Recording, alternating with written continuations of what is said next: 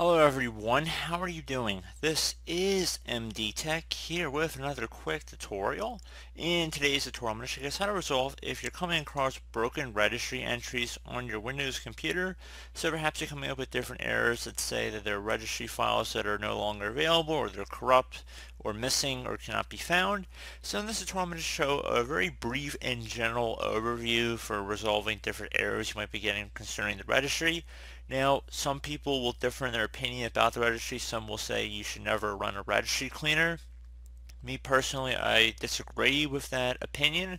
I don't see why it's necessarily bad to remove these old and outdated links at times, especially if you are incorporating a backup before actually removing anything. I've been using registry cleaners for many, many years, and every time I've ever made a backup, I've never actually needed to restore it at any point. So if that actually says anything to the power of registry cleaners in today's day and age, it maybe would say more to the registry cleaner that I use. So then you guys are familiar with CCleaner. I actually have it installed on my computer. You can go on Piriform's website, so you just go open up Google and type in CCleaner. I want to just get it from the official site. I'm going to save you guys the hassle of watching me download and install it. And it's already on the computer here, so it's going to look something along the lines of what you're seeing right here. Just make sure you download the free home version. There's also a professional version they offer that does a little bit more, especially in terms of like real-time monitoring and stuff like that. Just make sure you're selecting the free version when you're downloading the program. People always seem to mess it up on my other CCleaner tutorial video. They're always downloading the wrong link. Some people do that, and I don't think a majority do, but I still hear about it from a sizable minority. It's pretty straightforward. So once you're on the CCleaner page, you want to go underneath the registry option on the left side, and you want to select the scan for issues button.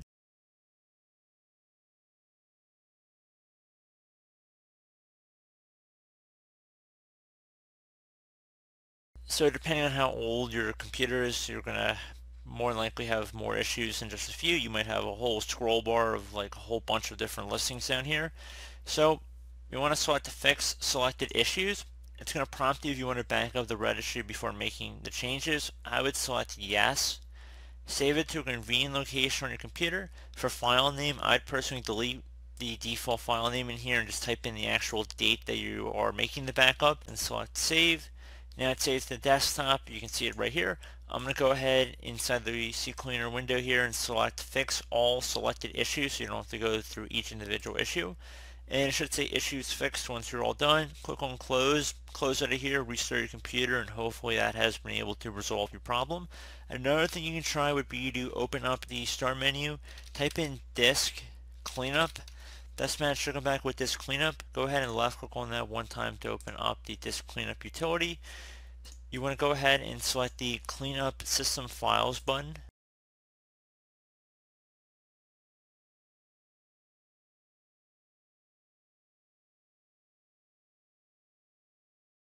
And then you want to select OK once again.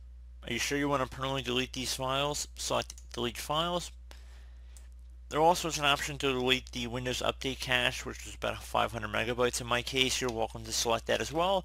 That's just more in line of freeing up hard disk space, but that's not really what this video is about, so that's why I did not select it. But anyway, restart your computer and hopefully that has been able to resolve your problem. If not, another thing you can try would be to go ahead open up the start menu, type in CMD. Best match should come back with command prompt, right click on it, and then left click on Run as Administrator. If you receive a user account control prompt, you want to left click on yes. And now I'm going to have a command in the description of my video. I want you guys to copy it. So just right click after you've highlighted it and then select copy or control C, whatever you prefer. And then go up to the top bar of the command prompt window here. Right click on it. Left click on edit and then left click on paste. Once it's pasted in here, hit enter on your keyboard. You will have to wait for this process to complete and if any items that were detected it should give you the option to resolve it restart your computer and that should be about it. The scan can take a little bit of time to run here though so I'm not sure we're actually going to wait for it to finish but if it does find anything it should automatically be able to fix it. Otherwise you might have to restart your computer once it's done. So pretty straightforward process here guys. Do hope I was able to help you out and I do look forward to catching you all in the next tutorial. Goodbye